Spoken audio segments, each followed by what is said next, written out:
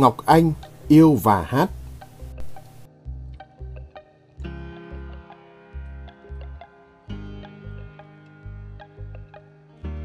Em chết trong nỗi buồn, chết như từng giọt sương, rơi không thành tiếng, trái tim em còn trẻ dại trắng trong. Ai cất dùm em cái nhìn già nua, ai cất dùm em bàn tay cằn cỗi, trong xứ sở của anh hiếm hoi niềm vui.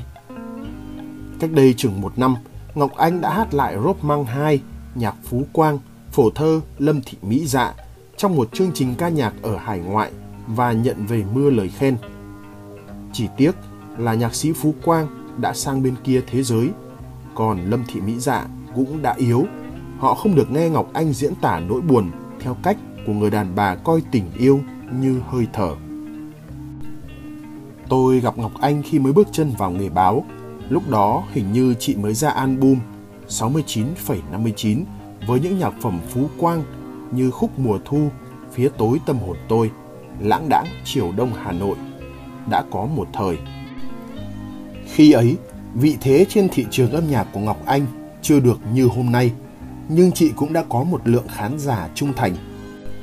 Ngọc Anh sống rất thẳng thắn, không vòng vo, không hoa mỹ, nên không quá được lòng với giới truyền thông. Rồi Ngọc Anh sang Mỹ. Chị xinh đẹp hơn, thời trang hơn, giọng hát vẫn như ở đất mẹ, đầy khao khát, song mềm mại và quyến rũ hơn. Thị trường âm nhạc hải ngoại hay chính những thăng trầm trong đời sống đã giúp Ngọc Anh dịu dàng và nữ tính hơn. Có lẽ chính Ngọc Anh cũng không thể phân tích rạch ròi. Chị không chỉ hát nhạc Phú Quang mà còn chinh phục nhạc Phạm Duy, Vũ Thành An. Những nhạc phẩm Mùa Thu Chết, Bài Không Tên Cuối Cùng, Tháng Sáu Mưa Rơi, Nửa Hồn Thương Đau, những bản tình ca buồn dường như được sinh ra cho tiếng hát của Ngọc Anh. Đã bao giờ Ngọc Anh rơi nước mắt khi thả hồn trong câu hát? Chị thú nhận, đó là điểm yếu của Ngọc Anh, dễ bị hóa thân vào bài hát, rồi sống luôn với nó. Dù mỗi bài hát chỉ 5 phút thôi, cũng đủ cho tôi cảm thấy như sống cả một cuộc đời.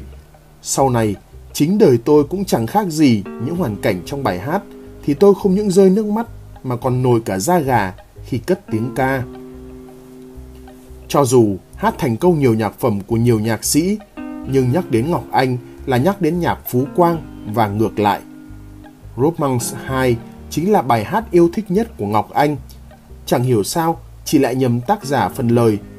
Thực ra, Phú Quang đã phổ thơ Lâm Thị Mỹ Dạ, chứ không phải ý nhi như Ngọc Anh tưởng.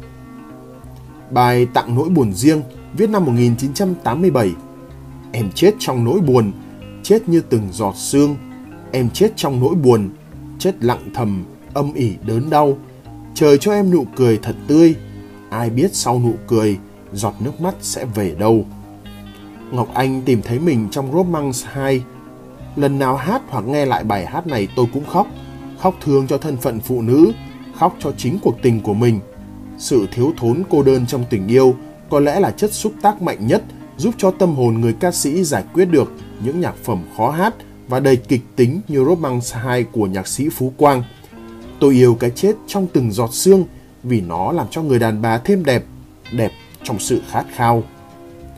Sinh thời, nhạc sĩ Phú Quang từng nhận xét, cái hay của Ngọc Anh không chỉ nằm ở giọng hát mà còn ở cái chất, cái hồn. Đã và đang có nhiều ca sĩ trải nghiệm với âm nhạc Phú Quang, liệu Ngọc Anh có bị cảm thấy áp lực?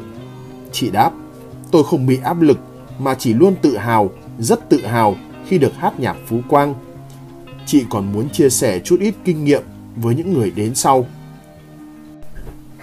Để hát được nhạc Phú Quang thì các ca sĩ đừng để ý quá nhiều đến việc phải khoe giọng hát. Nhạc Phú Quang gửi gắm một niềm yêu lớn lao là sự hy sinh thật sự trong tình yêu, là đau đớn tận cùng trong mất mát mà không thể đẩy lên căm thù hoặc ác độc được. Ngọc Anh sinh năm 1975. Chị chính là ái nữ của nghệ sĩ nhân dân Hoàng Khiêm, nguyên giám đốc nhà hát tuồng Trung ương. Ít ai biết, người hát Romance 2 từng say mê tuồng và hát tuồng rất hay. Năm 12 tuổi, Ngọc Anh từng thi tuyển vào trường đào tạo tuồng, nhưng bị rớt vì chưa đủ tuổi. Ở tuổi 15, chị thi vào nhạc viện, chọn trình diễn hai ca khúc Đối nhau về chất là Lý Triều Triều và lời tỏ tình mùa xuân và Đỗ Thủ Khoa. Dù không đi theo tuồng, nhưng trong mắt nghệ sĩ nhân dân Hoàng Khiêm, con gái của ông vẫn giữ chất tuồng khi cầm micro đứng trên sân khấu. Vẫn anh hùng dữ dội, chẳng lẫn đi đâu. Dù được nuôi dưỡng trong không khí tuồng, nhưng đời muốn Ngọc Anh thành người đàn bà hát cũng giống như việc chị quyết định định cư ở xứ cờ hoa, cũng không hẳn do chị muốn thế. Ngọc Anh tâm sự, việc lập nghiệp ở Mỹ là do quyết định không phải của tôi lúc đó. Song tôi chưa bao giờ thấy ân hận hay nuối tiếc, thậm chí đó là bước ngoặt có lẽ đã được sắp đặt nên không thể chối bỏ. Khi ở Việt Nam, Ngọc Anh từng hát Chuyện bình thường số 1 của Phú Quang. Thành phố mỏi mòn những âm thanh quen thuộc, những chiều len lách giữa phố đông, anh chợt thấy thân phận mình bé nhỏ, suốt nửa cuộc đời chưa viết nổi bản tình ca. Hỏi chị rằng, những ngày đầu tiên ở Mỹ, chị có cảm thấy thân phận mình bé nhỏ giữa thành phố mỏi mòn? Không ngờ, Ngọc Anh đáp kèm tiếng cười. Không, tôi không thấy lạc lõng. Hồi đó tôi vẫn luôn nói với anh xã cũ là ở đâu miễn có anh và con thì dù trong rừng sâu hay trên núi cao, em vẫn sẽ sống tốt. Tôi sống dựa vào tình yêu hơn là vật chất, nên địa lý hay điều kiện sống không làm khó tôi được. Chỉ có tình yêu mới có thể đưa tôi bay hoặc dìm tôi xuống thôi. Một nữ nghệ sĩ nổi tiếng từng học thanh nhạc cùng Ngọc Anh bật mí. Đã chứng kiến Ngọc Anh yêu ai thì chăm sóc hết mình. Tính cách nồng nàn, nồng nhiệt là ưu điểm nhưng cũng là nhược điểm của Ngọc Anh. Vì nồng nàn, nồng nhiệt đến mức người ta cảm thấy đủ, đầy và thừa nên người ta không còn biết nâng niu những gì Ngọc Anh mang đến. Sau những vấp ngã, Ngọc Anh vẫn thế, chị hát thành công những nhạc tình giang dở như một phần không nhỏ những trải nghiệm trên con đường tình yêu. Đã có lúc Ngọc Anh buồn, tuyệt vọng như những câu ca chị hát.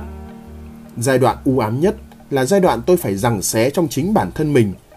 Níu giữ thì thấy mình nhẫn tâm, mà buông bỏ thì thấy mình mất mát. Lúc đó tôi hiếm hoi cả một nụ cười mỉm.